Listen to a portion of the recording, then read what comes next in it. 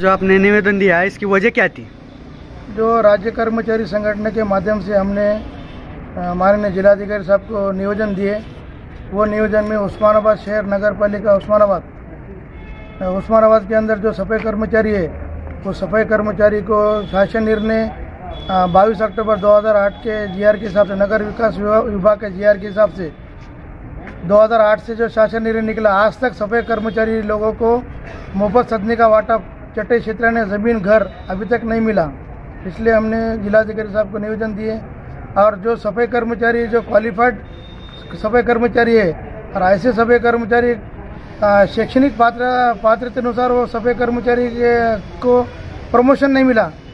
तो उसका जो नगर पालिका में जो प्रमोशन के लिए डावल रहे सफ़ाई कामगार कामगार को, वो एक दूसरा मुद्दा हमारे सफ़ाई का कर्मचारी जो अस्थायी पद पे काम कर रहे उनको स्थायी पद पे लेकर उनको लाड़ पांगे समिति सिफारिश अनुसार नियुक्त दे रहे नहीं।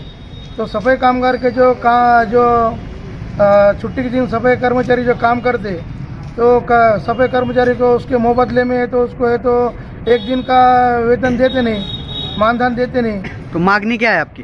तो हमारी मांगनी ये है कि जो सफ़ाई जो शासन निर्णय जो है सफ़ाई कर्मचारी act nineteen ninety three nineteen ninety seven two thousand thirteen के हिसाब से और भारतीय राज्य घटना आर्टिकल फोर्टी सिक्स के हिसाब से जो स्पेशल ट्रेनिंग देके क्लास वन क्लास टू पद पे जो लेने का है सफ़ाई कामगार को जो उसके शैक्षणिक आर्थ अनुसार ट्रेनिंग देके पद पे लेने का है तो उन वैसे सफ़ाई कामगार को है तो उसके शैक्षणिक आर्थ अनुसार पदोन्नति मिलने को होना और शासन ने जो सफे कामगार को जो है तो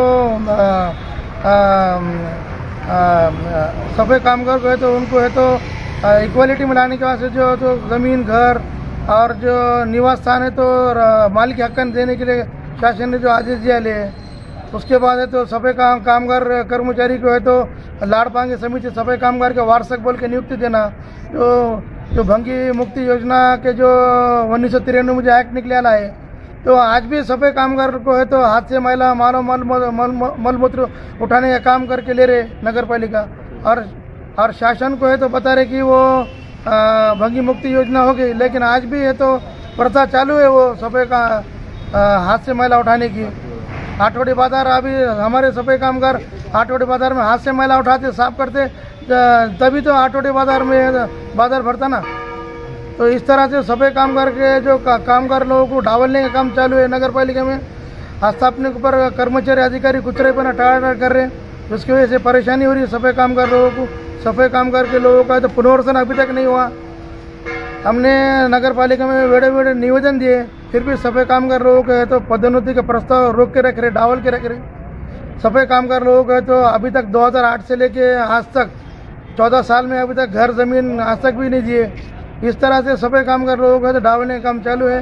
लाड़ पांगी समिति के प्रकरण भी रोक के रखे ले जो सफ़ाई कामगार जो टेम्पररी सफ़ाई कामगार है, उनको परमानेंट आज तक नहीं करे। M C S R rule revise 1981 के नियम के हिसाब से 240 दिन हुए कि सफ़ाई कामगार को परमानेंट से करना पड़ता। ऐसे शासन के गाइडलाइन होते हुए भी सफ़ाई कामगार के ऊपर अत्याचार अन्य हो रहा। एक प्रकार की अट्रोसिटीज है।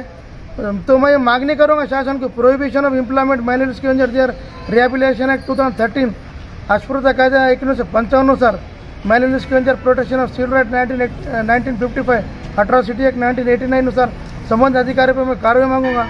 इसलिए मैंने जिलाधिकारी कार्यालय जिलाधिकारी साहब को मैंने निवेदन दिया।